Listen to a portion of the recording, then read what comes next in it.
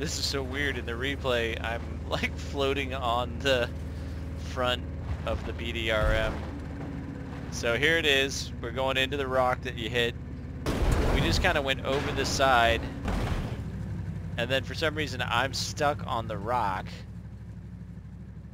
And I just die. So Yeah. fucking weird.